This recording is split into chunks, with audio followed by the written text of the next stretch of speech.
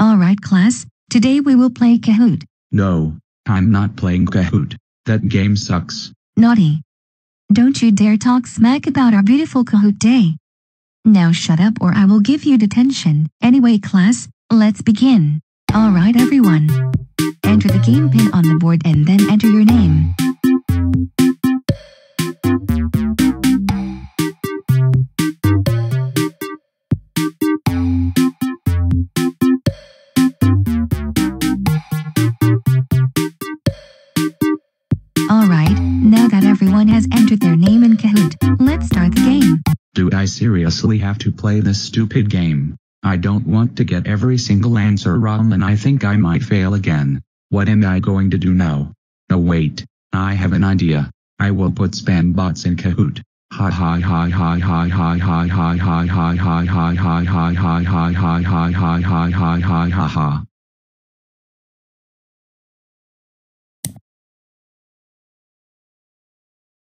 What the?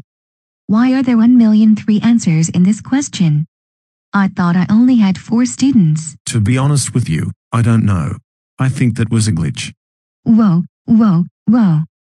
Who are Giga Boy, Energetic Giraffe, Bronze and Roshina Head?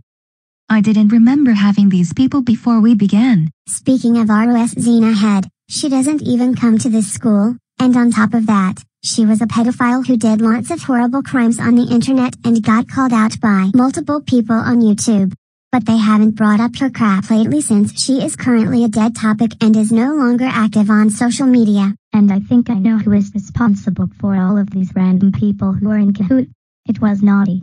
I heard his voice saying that he was going to put spam bots in Kahoot. What? Oh,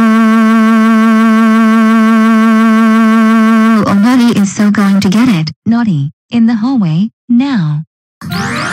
Noddy, is that true? Did you put spam bots in Kahoot? Tell me now or you're expelled. To tell you the truth, yes, I put spam bots in Kahoot. I'm so sorry Mrs. Julie Smurf. Oh.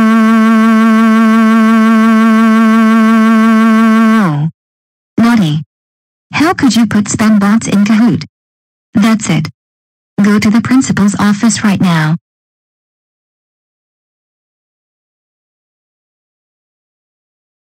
So Noddy. Why are you here? I put spam bots in Kahoot. Noddy. You don't ever spam bot any website in class. That's it. You're suspended for 50 weeks. Go home right now. Noddy.